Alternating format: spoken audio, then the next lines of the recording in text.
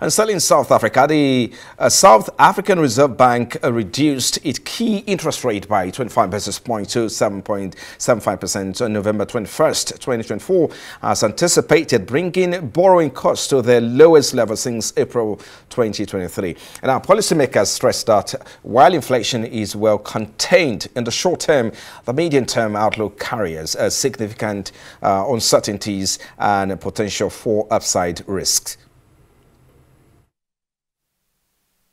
Since our previous meeting, the global macroeconomic context has become more challenging.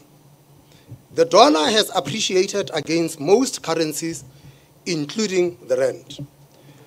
Longer term, interest rates have risen in the United States and across the globe. Short term rate expectations have likewise shifted up. In general, monetary policy in major economies remains restrictive and headline inflation has slowed.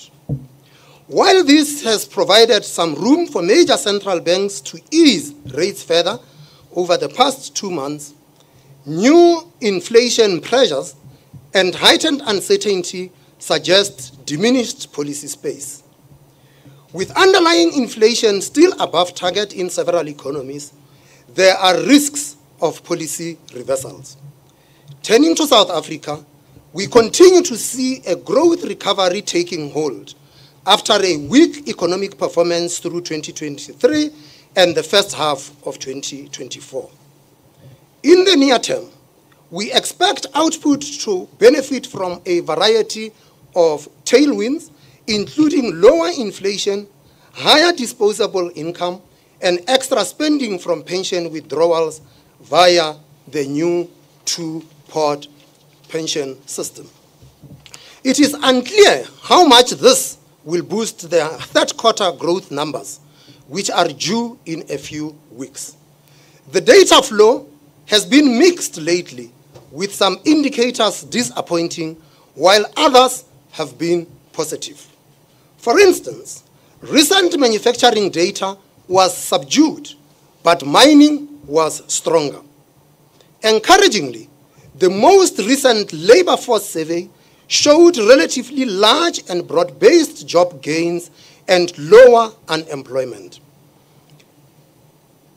Over the medium term, we still expect a sustained improvement in growth as reforms take effect. Our forecast now extends out to 2027 and we see growth reaching 2% in that year. The risks to the growth outlook are assessed to be balanced. Given mixed data outcomes, it is possible that near-term growth could fall short of current projections.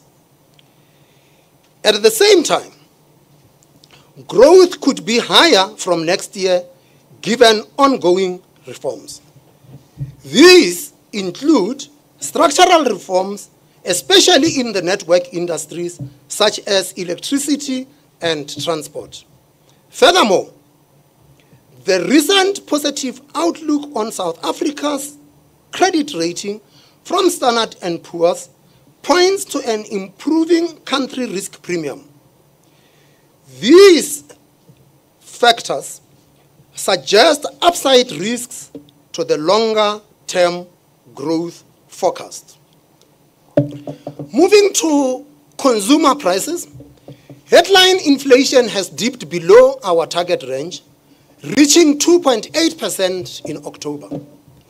Goods prices have slowed more than those for services which mainly reflects the benefits of a stronger exchange rate and a lower oil price relative to last year. These temporary supply shocks are likely to keep inflation below 4% until mid-2025.